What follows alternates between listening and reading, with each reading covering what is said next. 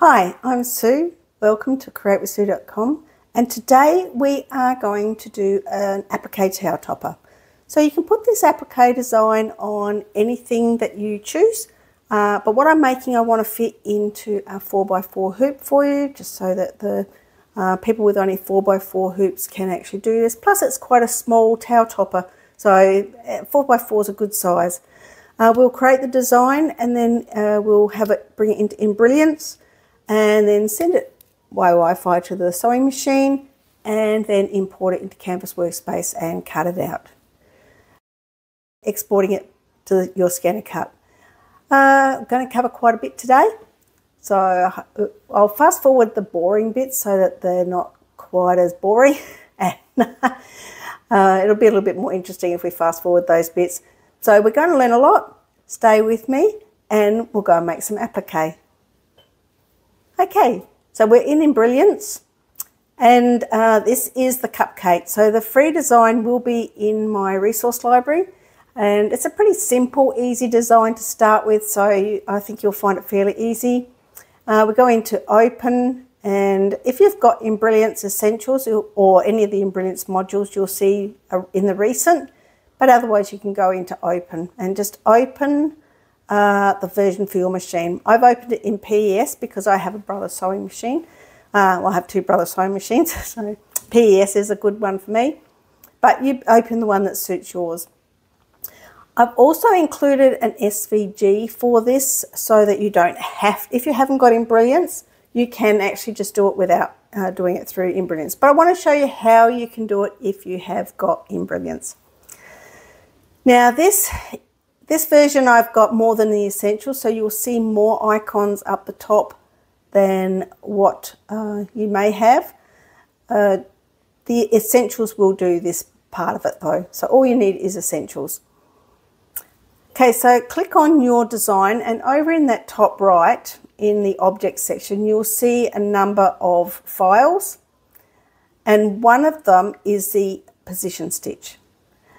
So it looks like just an outline. So what I circled, it just looks like an outline. And this part here is the wrapper.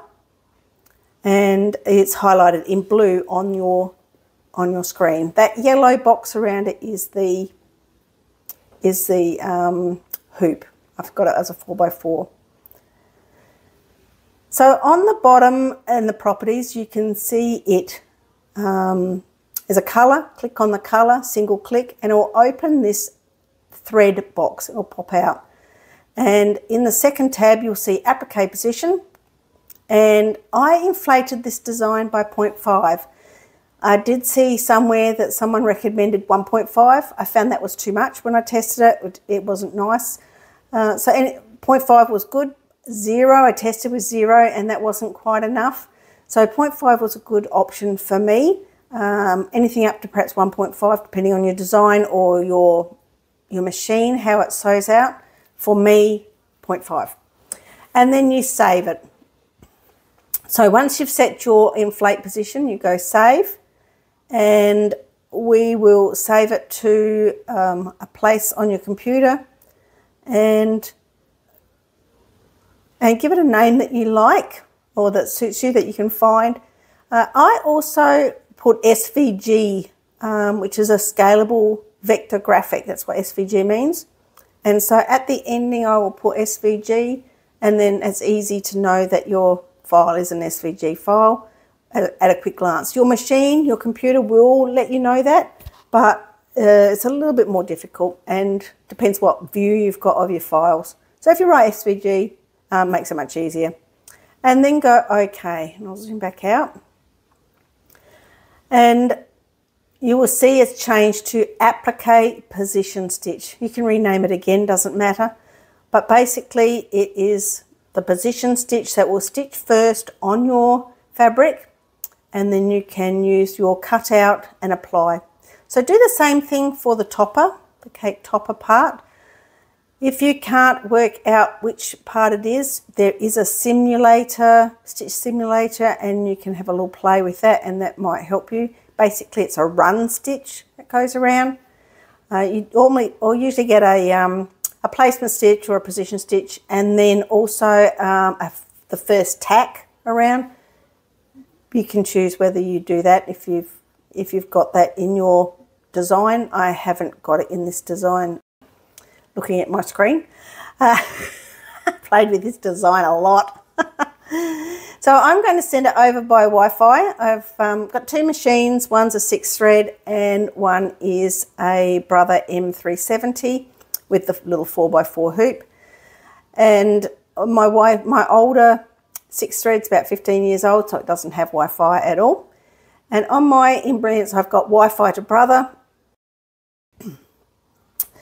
Make sure it says design. I've discovered that if you bring in the BE file, which is the file that um, is basically the working file for Embrilliance, it doesn't like that, won't go over. Uh, so just bring in the design, says design in the box, and then you can click OK and send it over. So you can see at the top right on the tab, I've got the PES version. And go OK. And I'm not sure if it will do it today. Uh, usually pops you up a little message to say it's successful, but I haven't got my machine on. So we will open Canvas Workspace after I've gone and brought the design in, but I'm going to do Canvas Workspace first. So open Canvas Workspace and this, what we're going to bring in is the SVG design. So you can go up to the top left into the file and uh, import from your computer. And then um, the other alternative is that halfway down the side there, you'll see SVG icon and that will work too. Bring the design in and it will pop it in the top left hand corner. So I would grab it and just move it out the way or it, the next one will come in directly on top. So we'll just drag it down the screen a little bit and bring in the topper. You can see it's a topper. I actually put 0.5 in the name so I knew which one was going to be the 0.5 topper because I had a little play with a few different settings. Now pop that out the way. I always like to place them roughly where I think um, I'm going to put my material and I'm going to put one in each corner of my mat so you can see it clearly. And then when you're ready, go File and Transfer, transfer Export Transfer to your machine. You've got all the normal options. You can do it by um, your USB or the middle one will send it over via internet. And there's our successful message, so it's been transferred to my cutting machine. Okay, so we're over at the cutting machine. I'm just going to retrieve the data. So this little pocket up here to the top right is the cloud or the Wi-Fi. And when we bring it in, there it comes. And you can see where I've placed it. Exactly where I've placed it in Canvas Workspace is how it's come into the ScanNCut. I have put a Brother iron-on stabilizer onto my material. It's a bit like a heat and bond as well. Um, I take the paper off and place it face down on my mat. And I'm just going to scan my mat. And you can use your brayer if you like to just help it firm onto the mat. Um, the iron-ons are quite a bit of a sticky, sticky feel, so it normally does tack on reasonably if your mat's sticky enough. I'm using my gold tip blade, which is the fabric blade. You could use your rotary blade if you have one. Um, the, fab the gold tip blade is really quite uh, successful with the poly cotton fabrics that I use, I'm using in this project. Just adjust, now you can see your where your material's placed. You can see I've used a bit of scrap for the, the wrapper, a bit of a cutout. That's the handy thing about the scanner in your uh, ScanNCut is that you can just adjust it uh, to suit where your material sits. And if you can't see it properly, go into the tools icon and you can change, I've got a little bit of light coming from my window, sorry, highlighting that. Uh, and you can change the background, whether it's light or dark. You can see it's actually a little bit harder to see the fabric with the, this, this setting. So go back into the tools and pick the one that's best for you. And you can see that that darker one, you can actually see where the fabric is on your mat. Adjust your placement and once you're happy with it, I might just fiddle with this one a little bit more so it's right in the middle, just there. And uh, you can have more pieces on the mat if you wanted to. You can have as many pieces if you want. Um, once you scan your, where your material is, you can just adjust as needed. When you're ready, go OK. And we're going over to select and cut. And make sure your half cut is off. I'm not going to worry about doing a test cut today, but you can do a test cut. I've got all the settings as auto.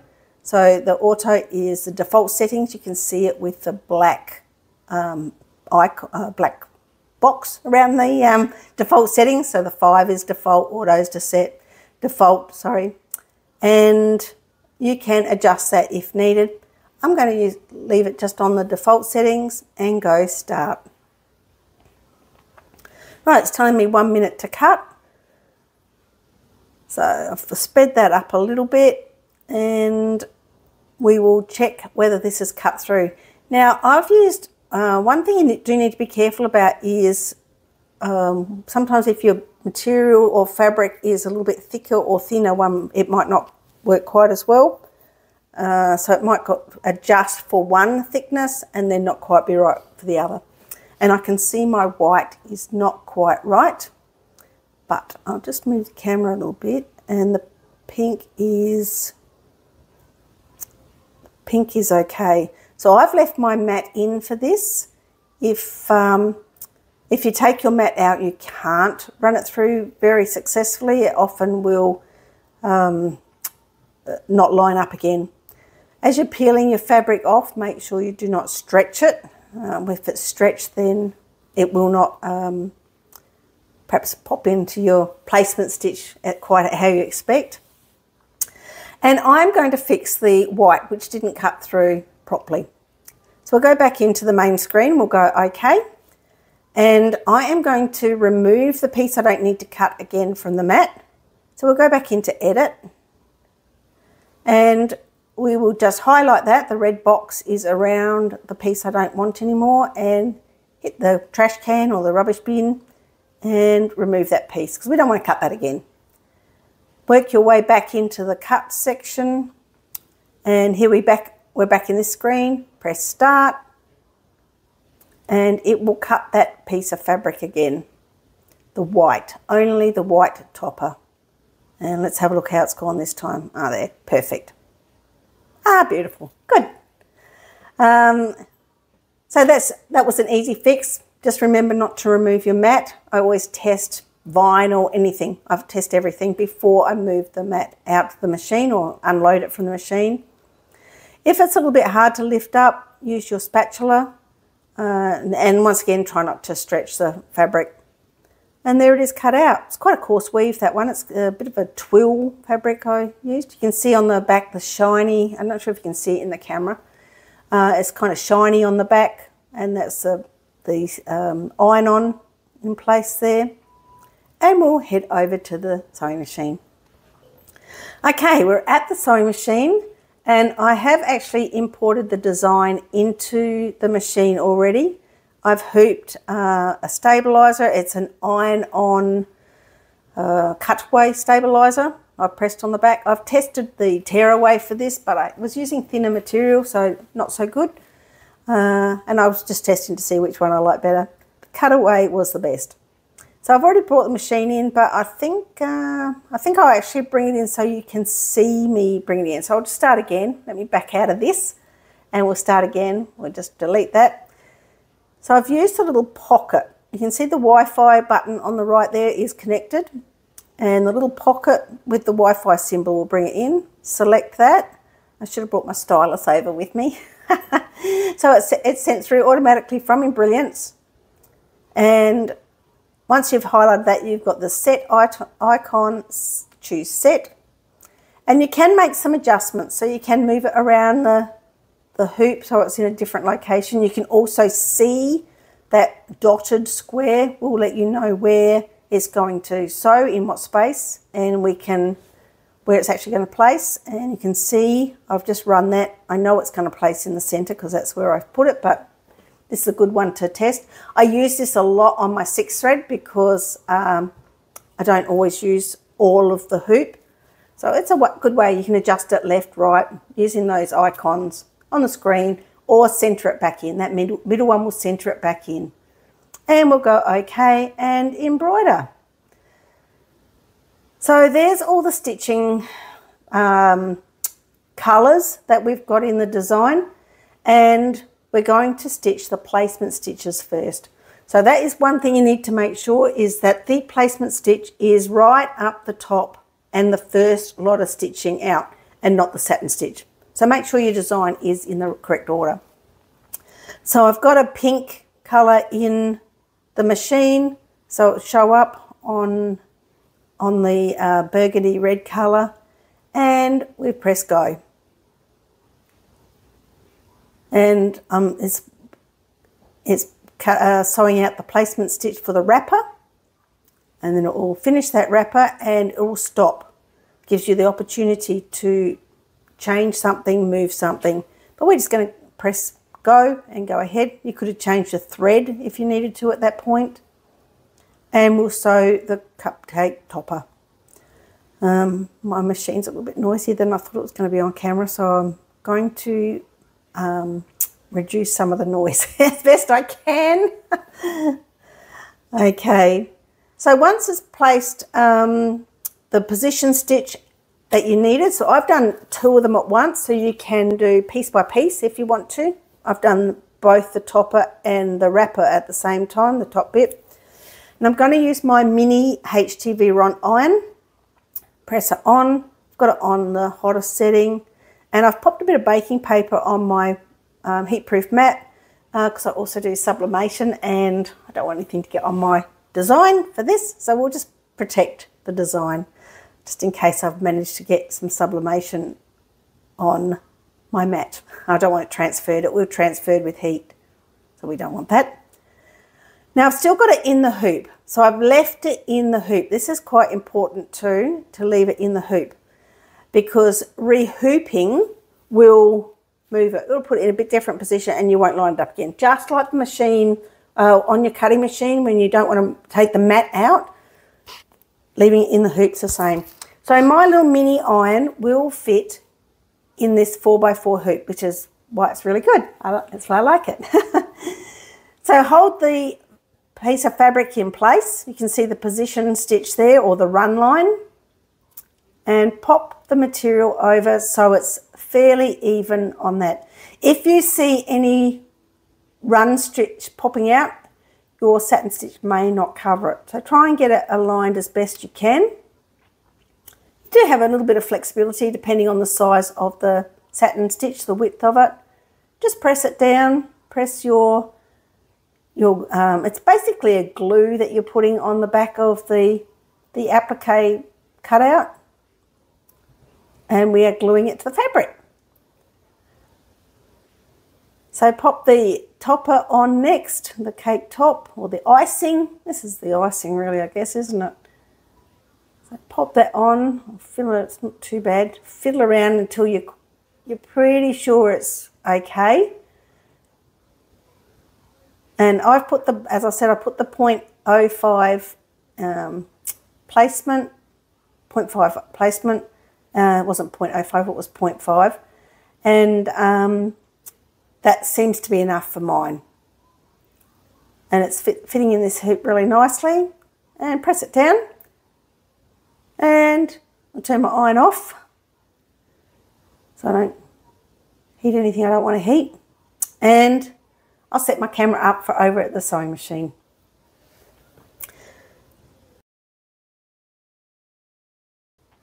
Okay, so we're back at the sewing machine and I'm ready to start. Place the presser foot down. So I didn't turn my machine off or shift anything. I've left everything just the same, so it's going to be in exactly the same spot. Didn't unhoop the fabric from the hoop uh, nothing's moved. And it will sew in exactly the same spot. So we can press go for the next part of the stitch.